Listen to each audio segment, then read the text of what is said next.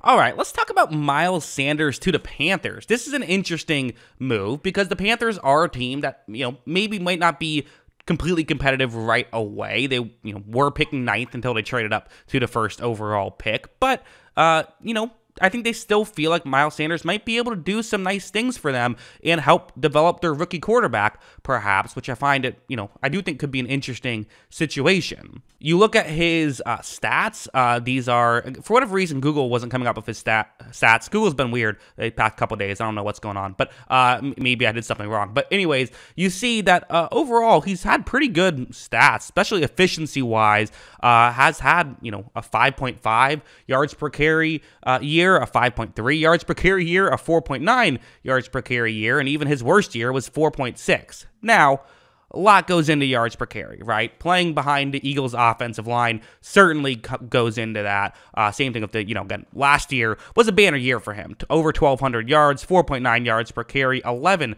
touchdowns. Uh, you know, really good stuff there. And he's even shown to have some receiving prowess. Maybe not these past three years as much, but he still has had some stuff. And he has a 500 yard receiving season to his name on top of it. So the stats very good. If you look at PFF grades, which kind of give you a more insight into how exactly uh, things are, you know, going for him, you see that there's, uh, you know, uh, some lower grades here, but as a whole, I would say still pretty positive. I mean, over 70, barely, but still over 70 the past two years, was over 60 his first two years. Um, again, the passing has been very up and down. Personally, I think his passing game is actually pretty good.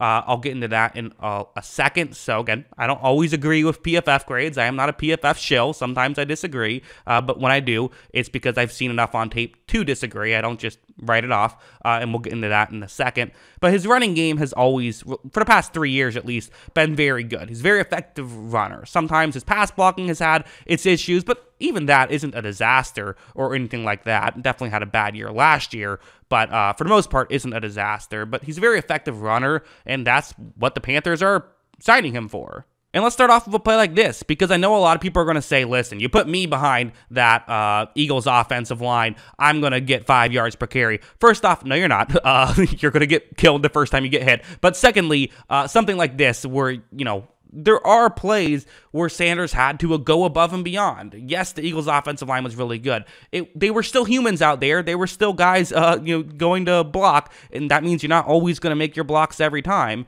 This time, it looked like there was supposed to be a double team. I'm not sure exactly what happens here, but as you see, the Detroit linebacker, I think he just shot the gap quickly before they could uh, get off the double team and block the linebacker. I think is what happened. But either way, what Sanders knows is happening is that there's a guy right in his face and he has something he ha- you know he has to figure out what to do here. But figure out something he does. Watch him be able to get around that tackle and pick up a really a nice chunk play. Got around another tackle as well. Again, nothing crazy, but you always wonder with running backs, what is their true value? Because so much of their value is determined by the offensive line. So much of, you know, their yards gained is determined by that stuff and by touches. That typically is what happens. However, there is definitely an element of themselves also. They are a piece of that. And this is a clear example of the offensive line not giving getting him a ton of yards, but still finding a way to turn it into a positive game. Something like this is, I would say, a good example where they're going to leave a player unblocked. It's the player I've circled in black right there. He is going to be unblocked. This is part of the designed run, as it's supposed to be a run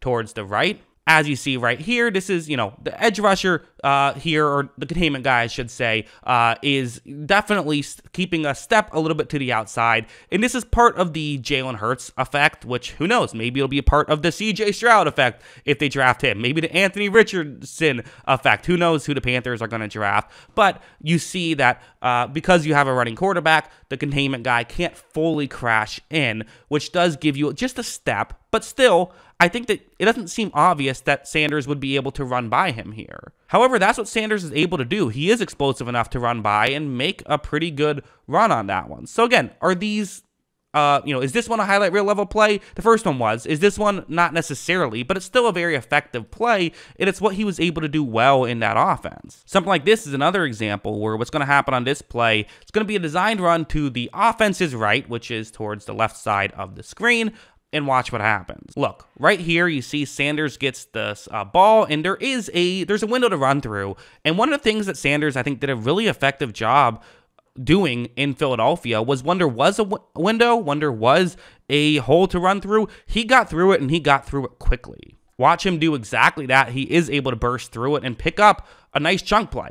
That was well blocked. There's no denying that. Guess what? The Panthers are going to have plays that are well blocked as well. And sometimes that's what you want in a running back is a guy who just gets you to yards your offensive line gets for you and is able to turn a well blocked play into an explosive run. There's obvious value in that, in my opinion. Again, there are plays like this that I would definitely say are, you know, a league average running back probably still does a good job with this one where you see the way uh, the blocking concept is on the screen and just watch how well blocked it is. I mean, look, Hurts gives the ball to Sanders. Sanders, again, shoots through the gap well. I would say does a good job, you know, vision wise of knowing where to run, but barely got touched on his way to the end zone right there. Part of that is his explosiveness, but most of that is the Philadelphia offensive line is really good. And while I'm discounting it a little bit, it is fair to say that that, that has inflated his numbers. There's no denying that. I think even he would say that. It's just true.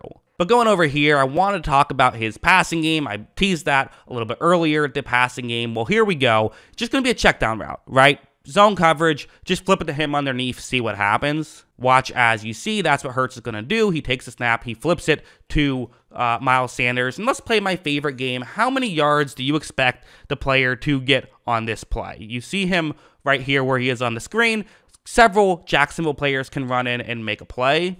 I don't know. For me, this looks like he might get tackled right around like the 31 or 32 yard line. That that feels about right. Maybe 33. We'll give him 33. We'll be generous. Well, as you see, he's going to do a great job of getting around, getting towards the corner, and he's able to eventually gets knocked out at around a 44 yard line. 10 more yards than we expected him to get. That's yards above expected, right? That's yards above replacement level, and it really just goes to show that he does have value and there is you know definite value in adding a Miles Sanders to your team. Again, I know that if you're the Panthers, when are you going to be successful? Are you going to be successful in the next couple years? You don't know. Well, there's a couple things. For one thing, I mean, if your quarterback hits and you have a good quarterback, you could be successful right away. Look at the Bengals with Joe Burrow. They went from perennial, you know, picking in the top 10 to they get Joe Burrow. All of a sudden, they're, you know, now picking in the bottom 10 and bottom 5 every year and, you know, someday soon, maybe bottom one. So it's not inconceivable to think that in the next couple of years, Sanders could be